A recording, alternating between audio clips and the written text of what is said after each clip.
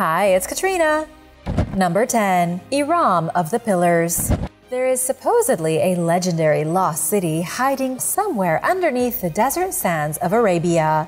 This place has been lusted over for centuries, searched for by famous explorers like Sir Ranulph Fiennes and even Lawrence of Arabia. The glorious city in the sand is still out there somewhere, just waiting for someone to find it. And when it's found, legend has it that the city will be the grandest ruin anyone has ever discovered. This lost city has several names. Some call it Iram of the Pillars, while Lawrence of Arabia came up with the name the Atlantis of the Sands. The oldest real evidence that a mysterious metropolis is out there buried in the desert comes from the Ebla tablets. These tablets date back to 2500 BC and were found in the ancient city of Ebla in Syria. There are 1800 complete clay tablets and 4700 fragments, and it's in these ancient inscriptions that a city named Iram is mentioned. If the city is as old as the tablets suggest, over 4,500 years old, it's not unreasonable to think it could have been buried beneath the shifting desert sands and forgotten. Locals say the city was destroyed by a natural disaster as punishment by their wrathful god. Iram of the Pillars was allegedly swallowed by the desert. This could have been a sandstorm or a tsunami. Experts aren't sure because they have never technically found the city. Number 9. The Jinn of the Steps. Chand Baori is a place of exquisite architecture in Rajasthan, India. Rajasthan has been called the most colorful state in all of India, even the most vibrant. The history here is rich and goes back through bloodlines of kings and queens thousands of years to the Stone Age. One of the most jaw dropping pieces of architecture in Rajasthan is Chand Baori, a haunted stepwell with a legendary past. The stepwell is located in the village of Abhaneri. It's over 100 feet deep, and researchers think it was most likely built in the 8th century. But what makes this place so mysterious is that nobody is entirely sure who built it. Archaeologists have never found direct evidence of the individual who commissioned the construction of this monumental stepwell. It's believed, based on nothing but speculation, that the stepwell was named after a local ruler 1200 years ago. Its original purpose likely had to do with religious and ceremonial activity. The stepwell would have acted as both a watering hole and a place of pilgrimage. People from the surrounding villages would have come here in the dry season to soak in what little water remained in the well, and they would have participated in religious festivals. But let's get to the part about the legend. According to the locals, the reason archaeologists have never found any evidence of the stepwell in historical records is because it was built in a single night. Locals say the one responsible for the impossible feat was a jinn, or a genie. It crafted all 3,500 steps and 13 stories of walls and galleries, and to this day, it haunts its own creation. Number 8. The Garden of the Hesperides. In Greek mythology, the Hesperides were nymphs of the evening, creatures of pure golden sunlight. Their father was the Titan Atlas, and their mother was the goddess of darkness, Nyx. The three Hesperides were said to dwell in a mysterious garden far away to the west of Greece, where they sang songs and tended to the golden apples that grew from lovely flowering trees. The garden was supposed to be one of the most beautiful places in the world. It was in the great golden apple tree grove that Zeus married Hera, and they became king and queen of the gods. The Hesperides were the divine beings sent to take care of the grove and ensure the health of the golden fruit. While this all may seem like just another fantasy out of Greek myth, many experts believe the Garden of the Hesperides may have been a real place. Like so many locations from mythology, Famous Garden was a faraway land that became over embellished by Greek writers. Historians believe the golden apples referred to in the myths were really just oranges. The fruitful land was most likely Portugal, which to the Greeks must have seemed like a truly spectacular paradise rich with tasty fruits. Number 7. Mount Fuji. Mount Fuji is more than just the highest peak in Japan. The mountain is also a stratovolcano made of lava and ash, 60 miles from Tokyo at an elevation of 12,388 feet. It has been a legendary landmark in Japan for thousands of years. Its last major eruption was on December 26, 1707. The volcano is now dormant, with a very slim chance that it will erupt again in the near future. Mount Fuji is also steeped in legend and folklore. Its name itself is a derivative of Fuchi, the ancient Ainu people's goddess of fire. Women weren't allowed to climb the mountain until the 1860s because there was a fear that the fire goddess was too possessive. She would supposedly kill any woman who tried to scale the mountain in a fit of jealous rage. But Fuchi isn't the only deity connected to the mountain. Sengen is the mountain goddess of Mount Fuji, and she used to have a temple at the very summit. It was said that any traveler with an impure heart or ill intentions would be kicked off the top by Sengen herself. Number 6. The Medieval Paradise The legend of the utopia known as Cockaigne first appeared in the 12th century in Europe. It was around 1250 AD that a French book was published describing a mythical medieval paradise with such abundance it was like heaven. This mysterious place had a seemingly unlimited amount of food. The people who lived there bathed in luxury and had all the physical comforts you could imagine. Every whim and pleasure was taken care of immediately, and their hands grew soft from the ease of their existence. Historians are fairly sure that Cockaigne, like the lost city of Atlantis, was nothing more than a mythical utopia dreamed up by medieval peasants to escape their own miserable lives. And while the mythical land of plenty has never been found, a lot of places were named Cockaigne later on in history. For example, the Dutch village of Kockengen named itself after Cockaigne when they established farms and desired to be seen as a town of culinary prosperity. And now for number five. But first, want to give a big shout out to Glennis Clark and Rubal Dasgupta. Thanks so much for watching. If you are new here, welcome, and be sure to subscribe for more videos like these. Number 5. The City of Troy There is no city more legendary or more famous in the 21st century than Troy. This city is shrouded in more mysterious myths than just about any other city from the ancient world. And yet, it is also a very real place. The biggest issue for historians is trying to separate fact from fiction. In the ancient legends of Troy, the city was besieged for 10 years by the Greek army before it was eventually captured.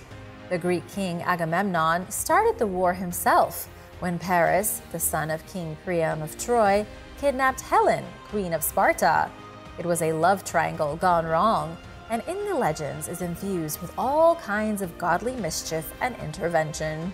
In reality, Troy is a real city on the northwest coast of Turkey, it's also known as Hisarlik, and it really was ruled over by someone named King Priam.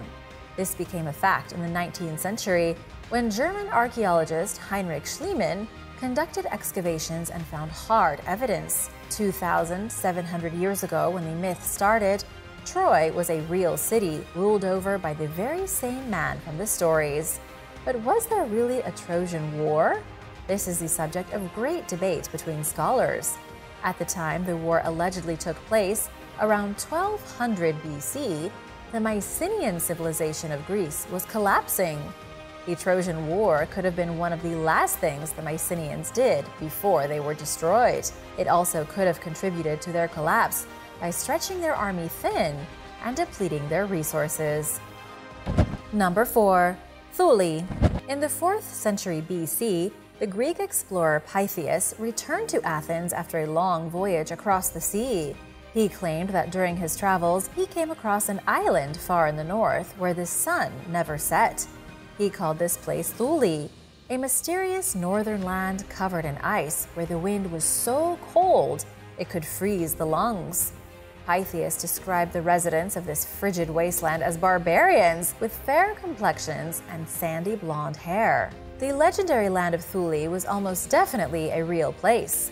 Pytheas was one of the most reliable of the early Greek explorers.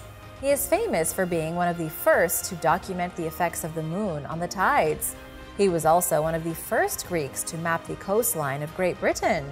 There is no reason to doubt his claims, as he didn't seem to embellish much and always recorded exactly what he saw. The land of Thule was supposedly located across from the Scottish Islands and west of Scandinavia. That would put Thule as either being Iceland or Greenland. For a Greek to reach Iceland and see the phenomenon of the Arctic summer when the sun never sets, it really would have been like arriving in a legendary land. And as the years went on and more explorers went in search of Thule, more explorers returned to places like Rome with tales of an island of barbarians living in perpetual daylight. Number 3. Zerzura. Not far from the Arabian Desert, just a few hundred miles to the west, lies the Sahara Desert.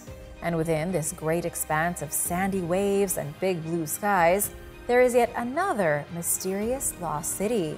This one is called Zerzura, and it's supposedly somewhere in either Egypt or Libya. It was described by an anonymous treasure seeker in the 15th century.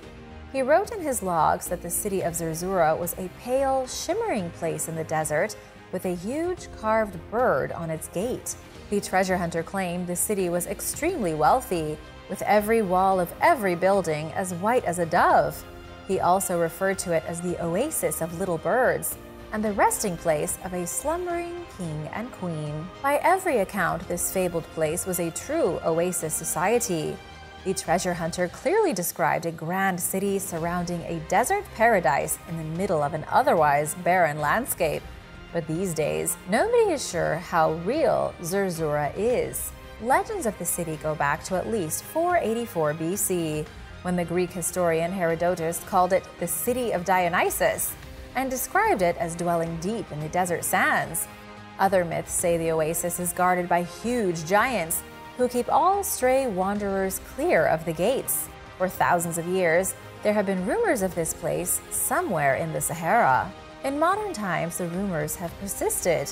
The English Egyptologist John Gardner Wilkinson published a book in 1835 about how a local herder discovered the city by accident while searching for a lost camel. Count Laszlo Dalmasi, a Hungarian pilot, led a search for the city in the 1930s. And while he did indeed discover a secret oasis nobody had ever seen before, hiding in a remote stretch of the Sahara, there were no ruins to speak of. Number 2. Norumbega. Norumbega is a legendary settlement in North America that may or may not have existed. Looking at early geographic outlines of North America from the 16th century, when Europeans began to colonize the land, we can see a place clearly labeled as Norumbega. Some accounts of early European explorers even say that the houses of Norumbega were built with pillars of gold and that the people who lived there wore crowns of pearls about their heads. The name Norumbega appears on maps of America as early as 1529. Experts say the name comes from the Algonquin language that was spoken in New England before Europeans arrived. It means quiet stretch of water. But whether this place was a settlement, a Native American city, or just a region, nobody has any idea. There was clearly something in New England, just south of Acadia, that was important enough for cartographers to include it in their maps. In the 19th century, the town of Bangor named their municipal hall Norumbega Hall. In the later part of the 19th century, the American scientist Eben Norton Horsford suggested Norumbega may have been a Norse settlement on the Charles River. It could be that the Norse were wiped out decades earlier before the other Europeans arrived. Number 1. Grianan of Aileach. Grianan of Aileach is one of the most legendary places in all of Ireland and one of the most mystical. These days, very little remains of the original fortress. Sitting atop the Greenan Mountain at 801 feet above sea level in County Donegal is the crumbling ruin of a ring fort built in the 6th century AD. The hilltop was once the seat of the great kingdom of Aileach, who ruled much of Ireland until the 12th century. That was when they started losing their grip on their lands. The Aileach had much of their territory taken from them by the invading Normans, then their hilltop fortress was smashed apart by the High King of Ireland. But before they had their hilltop destroyed, the Kingdom of Aileach ruled most of Ireland for 600 long years. That's more than double the amount of time the United States has even been a country. Grianan of Aileach, their most important fortress, was said to have been built by the Dagda himself, the father god of Ireland. It was said the Dagda fought a long and horrible war against the Fomori, a supernatural race from Irish mythology. Once he had beaten back the ugly and monstrous creatures, he built the fortress as a grave to his son, who had fallen in battle. Thanks for watching! Which of these incredible legendary places did you like the most? Let me know in the comments below, and be sure to hit that subscribe button and come back soon. Bye!